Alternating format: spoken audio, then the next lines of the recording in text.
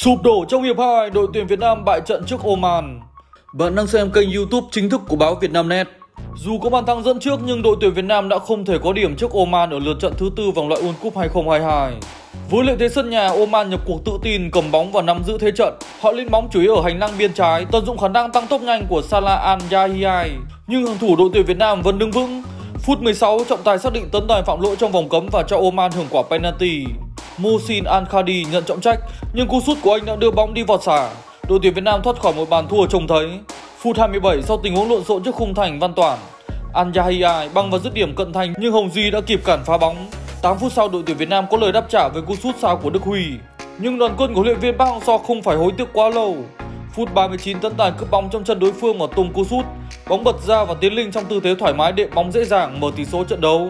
Nhưng tưởng đội tuyển Việt Nam sẽ bước vào giờ nghỉ với lợi thế dẫn bảng thì đến phút 45 cộng 2. Trong một tình huống lộn xộn trong vòng cấm, An Sahi đã tung người volley ghi bàn quân bình tỷ số cho Oman. Đầu hiệp 2, đội chủ nhà tiếp tục chơi áp đặt và có bàn thắng từ rất sớm. Phút 49, Al Khadi thực hiện quả đá phạt góc thẳng vào khung thành và nâng tỷ số lên 2-1. Sau bàn thua, đội tuyển Việt Nam nỗ lực lấy lại thế trận và tìm bàn gỡ.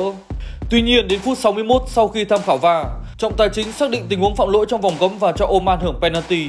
Và trên chấm 11m Salah Al Yahiyai Bình tĩnh tung cú sút vào góc trái khung thành. Nửa sau hiệp 2, thế trận cân bằng hơn, huấn luyện viên Park Hang-seo lần lượt tung vào sân Xuân Trường, Tuấn Hải, Văn Toàn vào sân để cải thiện hàng công. Tuy nhiên đội tuyển Việt Nam cầm bóng nhưng vẫn chưa thể tìm ra phương án tốt để xuyên phá hàng thủ áo đỏ và nhiều lần gặp khó trước những tình huống phản công nhanh của Oman. Những phút cuối trận, những chiến binh sao vàng tạo ra nhiều sóng gió. Lần lượt Quang Hải và Công Phượng tung ra những cú sút nguy hiểm. Tuy nhiên đã không có bàn thắng nào được ghi thêm.